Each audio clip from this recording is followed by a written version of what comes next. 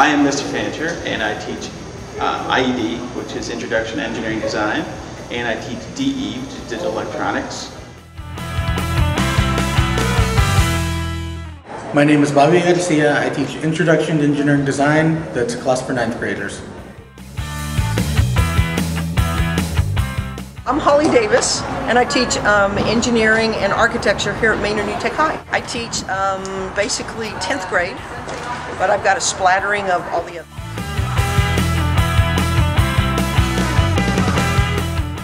To teach engineering in project-based instruction is actually really easy because a lot of the engineering concepts are hands-on so that you can introduce something uh, that needs to be learned and then you can explore um, either in the IED it's exploring of how, how uh, engineers design things or if it's digital electronics it's how do uh, components work together in circuits and things like that.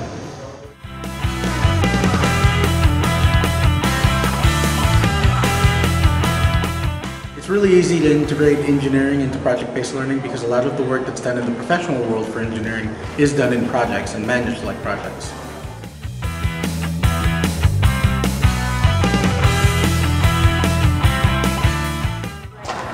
Engineering just is projects. We're designing and building projects, so PBL, project-based learning, is just a natural fit for project-based learning.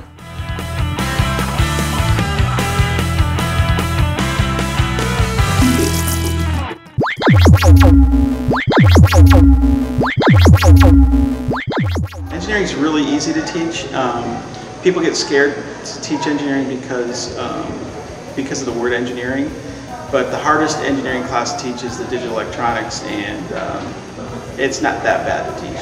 And the students only cry a little bit when they have to take it. Is engineering easy or hard to teach?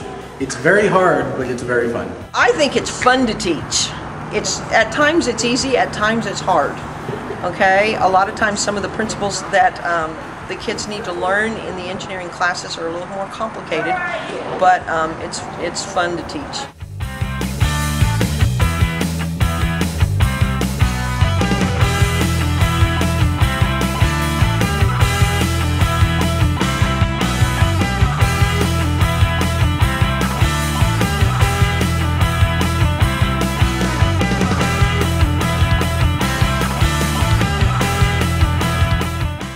Engineering is fun because you get to do a lot with your hands and, and play with things.